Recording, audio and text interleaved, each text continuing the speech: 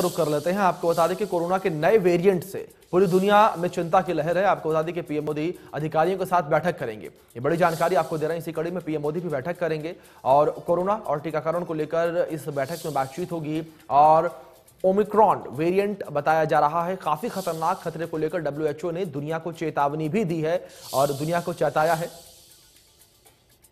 तो एक बार फिर से कोरोना की वजह से हड़कंप जो है, वो पूरी दुनिया में देखने को मिल रहा है। जिस तरीके से कोरोना का नया वेरिएंट पाया गया है, इस नए वेरिएंट को लेकर डब्ल्यूएचए ने भी चेतावनी जो है पूरे विश्व को दी है।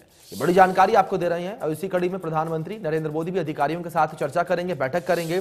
और यहाँ पर टीकाकरण को लेकर और नए वेरिएंट को लेकर पीएम मोदी अधिकारियों के साथ वार्ता करेंगे।